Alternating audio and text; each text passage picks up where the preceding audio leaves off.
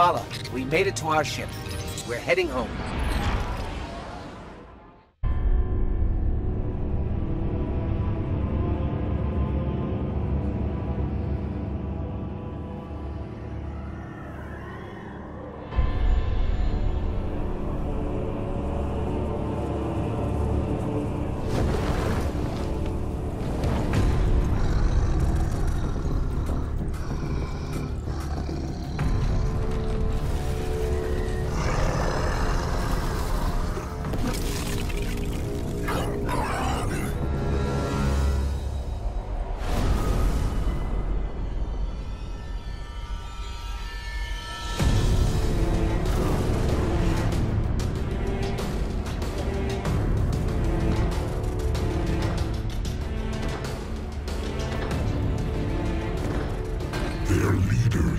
Belong to you.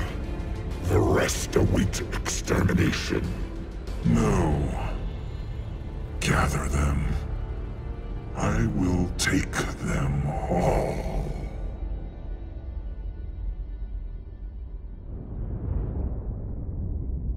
My contacts near Saturn say the weapon fired only once. It's not like the Queen to attack a superior force. How could she have known? How could anyone? We need a warlock inside the Dreadnought. Here we go. Our first priority must be to protect the city. Our Guardian got a good look on Phobos. Whatever it was, it turned Cabal against Cabal, wiped out their base in minutes. How long would we last? Until we understand what we're dealing with. They are taken. Eris, get your rock off my map. It hasn't spoken since Crota fell. It speaks now because Oryx has arrived, come to fulfill the final covenant of his son. But why fight the Cabal? Not fighting, taking, controlling their will.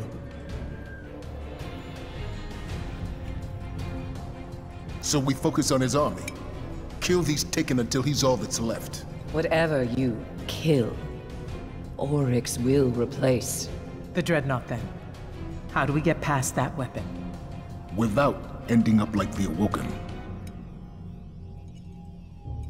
I gotta go, uh, see about a ship. Cayde, our discussion is not yet concluded. Oh, I know. That's why I'm leaving.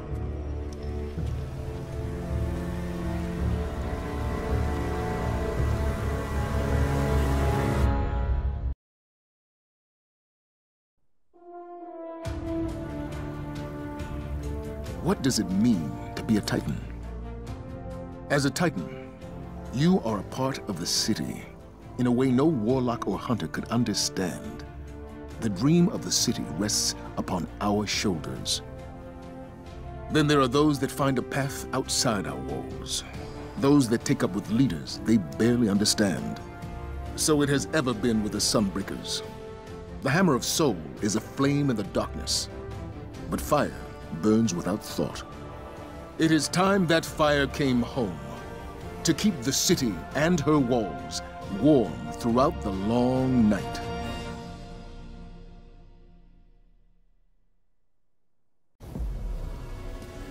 Fire born of man. Fire of the light. Ask yourself, what power do you seek from the Forge, Guardian? Can you bring light to where only darkness survives?